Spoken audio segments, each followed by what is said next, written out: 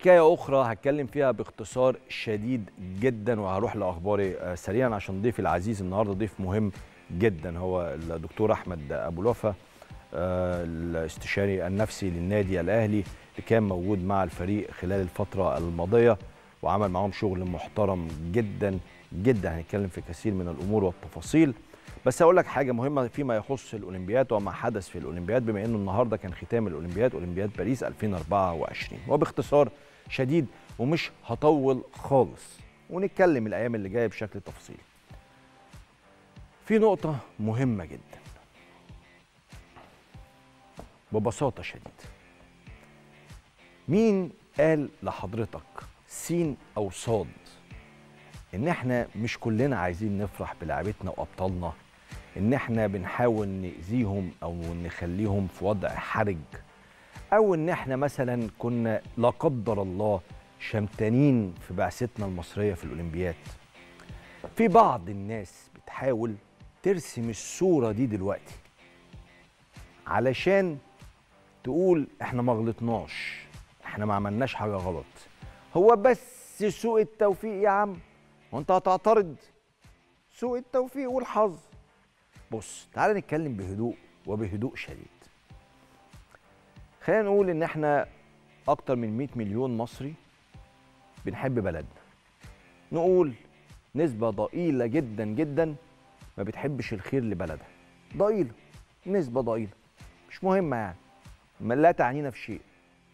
بس كلنا بنحب بلدنا بنحب أبطالنا بنحب صورة بلدنا تبقى في أعلى وأعلى وأعلى وأعلى الأماكن. نحب نشوف علم بلدنا طول الوقت مرفوع. فكلنا شركاء في ده. حضرتك اللي أنا هنتقدك وحضرتك اللي هتنتقدني كلنا عندنا نفس الهدف هو بلدنا. خلاص الأول حطينا إيه؟ قاعدة ثابتة أهي. بعد كده نتكلم مع بعض بهدوء. ما ننميش على بعض الاتهامات. يعني أنا لما أجي أقول لك إحنا كنا مستنيين ميداليات أكتر من الثلاثه فتطلع أنت ترد عليا تقول لي والله إحنا ما عرفناش نجيب أكتر من ثلاثة عشان واحد اتنين تلاتة أربعة ليهم علاقة بالتوفيق والحظ وليهم علاقة.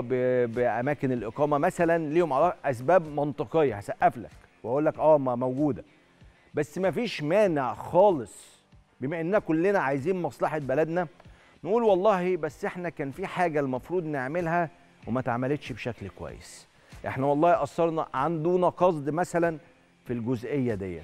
والله إحنا الفترة اللي جاية دي هنشتغل على أخطائنا اللي فاتت اللي هي موجودة وهنحسن عشان في الأولمبيات اللي جاية نضمن ميداليات أكتر. نتكلم مع بعض بالطريقة دي وبحسن نية وبصدق. أنا صدقك وأنت كمان تصدقني وأنا بنتقدك.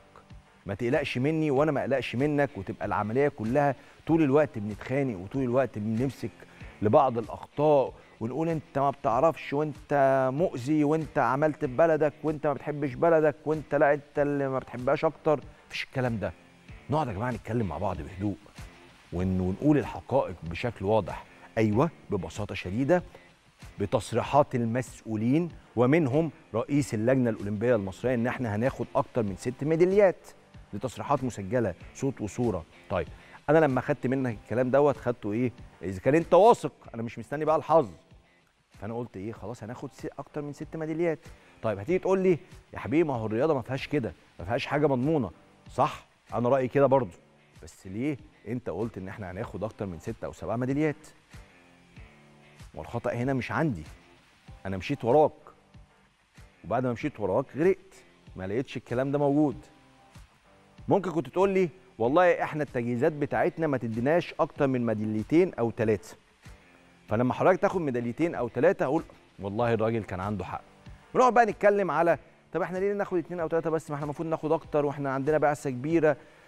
طب وليه دول مثلا ممكن ما تبقاش كبيرة زي بلدنا فخدت ميداليات أكتر؟ طب ليه؟ ونقعد نتكلم ونسأل ونشوف التفاصيل. هل إحنا مثلا محتاجين ما يبقاش عندنا ألعاب كتير بتشارك في الأولمبياد؟ ولا لا؟ ليه لا؟ يبقى عندنا أبطال كتير يبقى اسمهم أبطال أولمبيين موجودين في الاولمبياد حتى لو ما خدوش ميداليات دي حاجة مفيدة ولا لا؟ هل إحنا عندنا التجهيزات الرياضية في ال في ال في البنية التحتية كلها مؤهلة لكل الألعاب ديت إن هم تجهز اللاعبين ولا لا؟ هل إحنا قصرنا بدون قصد؟ شوف أهو بدون قصد. إنه مثلا كنا محتاجين نصرف أكتر. أصل برضه عشان أبقى أمين معاكم يعني. أنا مش عاجبني الوضع كله. بس مش مع الناس قوي اللي بتتكلم على المصاريف اللي اتصرفت. مش مع الناس دي قوي. ليه؟ أنا شايف إن إحنا المفروض نصرف كمان أكتر وأكتر. الرياضة تستاهل إن إحنا نصرف عليها أكتر من كده. والرياضة على فكرة مش فكرة إنه بس ناخد ميداليات. يا سلام لو الشعب كله بيلعب رياضة ويا سلام لو الشعب كله بنصرف على الرياضة والناس تتعلم رياضة وتلعب رياضة. دي حاجة كويسة مش حاجة وحشة. ليها أهداف كثيرة أصلا أكبر كمان من فكرة مجرد إن إحنا ناخد ميدالية وإن كان ميدالية دي حاجة كبيرة وعظيمة جدا مفيش مفيش أسمى من كده إن إحنا يبقى عندنا علمنا مرفوع طول الوقت. بس نصرف تاني نصرف أكتر. ماشي. بس نقول للناس بوضوح إحنا بنصرف بالرقم الكبير ده عشان نخش على الأقل نقول إحنا داخلين ننافس على ميدالية. إحنا هناخد ميدالية. تبقى الحكاية إيه؟ التوفيق يلعب معانا في أنهي جزئية بقى؟ إن إحنا كنا المفروض ناخد ذهب بس جت فضة. كنا المفروض ناخد فضة فجت برونزية. زي بالظبط ما حصل مع سارة سمير.